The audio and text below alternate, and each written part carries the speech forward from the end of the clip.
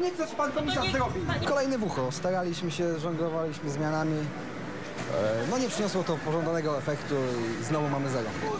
Nie mogłem głosić zmiany, sędzia nie odbierał telefonu. Nie wiem, czy awaria telefonu, czy była źle odłożona słuchawka. W każdym bądź razie miał jechać bieg po biegu Peter Kildemand i należały mu się dwie minuty przerwy. Sędzia nie wiedział o tej zmianie, no bo nie, nie mogłem powiedzieć, ponieważ telefon nie działał. Włączył dwie minuty w momencie i chłopak ledwo co się zdążył podjechać pod taśmę, także... Come on,